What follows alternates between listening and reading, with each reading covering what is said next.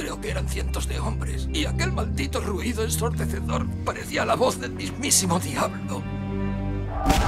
En 1808, Brooke provocó con su tambor la huida de las tropas napoleónicas, gracias al eco de las montañas de Montserrat.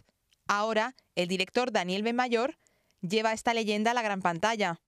Yo creo que es un tipo de, género que no se estila mucho en, eh, en, nuestro país, pero que siempre lo hemos visto en otros lugares con otro tipo de, marcos históricos y por qué no nosotros eh, exportar nuestro, nuestro, nuestra historia y nuestro héroe. ¿Cuántos mataste, Brooke?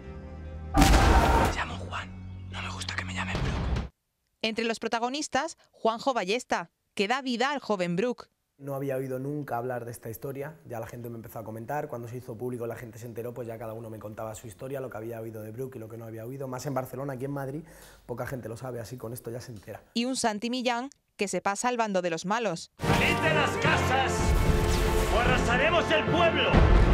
Para cualquier actor, el, poder cambiar de registro, el poder cambiar de género es, es lo que deseas, ¿no? El film promete grandes dosis de aventuras, que dicen acción, a correr, a subirte por las paredes, a pegar tiros. Aquí cuando dicen acción es acción de verdad. Acción de verdad. Es acción de verdad. Brooke, el desafío, se puede ver en los cines desde el 22 de diciembre. ¡Dejadla marchar no morirá! ¡Al suelo! Si le mata, le convertirá en una leyenda.